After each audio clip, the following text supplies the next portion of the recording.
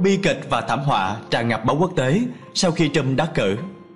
Quý vị và các bạn thân mến, theo AFP, thảm họa, bi kịch, nỗi ô nhục là những ngôn từ mà truyền thông quốc tế mô tả chiến thắng kỳ lạ của ông Donald Trump trong cuộc bầu cử tổng thống Mỹ. Một số tờ báo đánh giá ông sẽ trở thành một tổng thống nguy hiểm và khó lường. Tờ Guardian sử dụng ngôn từ khá cực đoan khi nhận định về ông Trump. Tờ báo cho rằng nước Mỹ đã lựa chọn một lãnh đạo nguy hiểm. Thế giới sẽ có nhiều điều phải lo lắng trong thời gian tới. Người dân nước Mỹ như rơi xuống vực thẳm. Tổng thống đắc cử là người cuồng tín, không kiên định, háo sắc và nói dối trắng trợn. Bất cứ điều gì ông ấy cũng dám làm.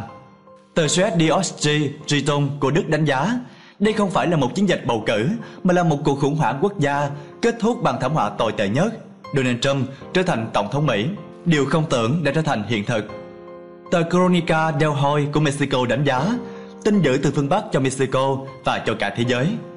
Tờ Daily Mail của Anh viết sự báo thù của thế lực bóng tối chiến dịch tranh cử tổng thống kỳ lạ nhất trong lịch sử thế giới hiện đại đã kết thúc với nỗi ô nhục dành cho Hillary, dư luận và giới chấp bu của nền kinh tế, cũng như các cử tri Mỹ đã coi thường khả năng chiến thắng của Trump.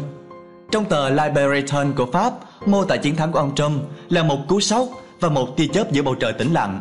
Tờ báo phân tích ông Trump sẽ nhanh chóng bước vào Nhà Trắng và quyền lãnh đạo thế giới từ nay nằm trong tay một tổng thống cánh hữu. Hơn 50% cử tri Mỹ đã bầu cho một ứng cử viên phân biệt chủng tộc, nói dối, phân biệt giới tính, thô tục và đáng ghét. Tờ La Stampa Italy phân tích, chiến thắng của ông Trump cho thấy tính khó lường của nền dân chủ Mỹ. Tuy nhiên, chiến thắng này cũng đặt ra hàng loạt câu hỏi cho nước Mỹ và cả thế giới về một ứng viên vốn bị đánh giá là lót đường. Những nhà cải cách đã bị hạ knock out ngay trước cửa của chúng ta.